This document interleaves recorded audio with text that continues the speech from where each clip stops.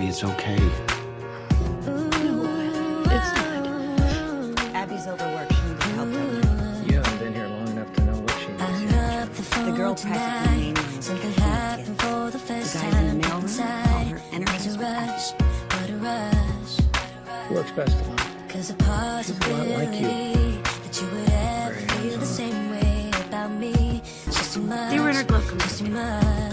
Much. That doing in her glove compartment? I keep don't running know, but I'm sure truth? the director doesn't want her, um, about is you. personal business on an inventory log hypnotized, for the entire federal government. and I just got Not to this know. And I can't take it off the wall.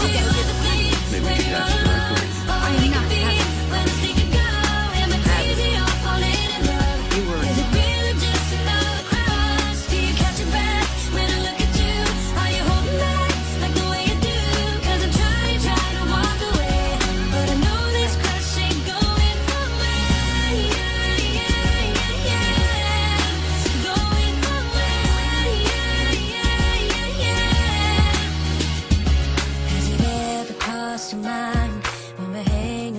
Time, girl? Are we just friends?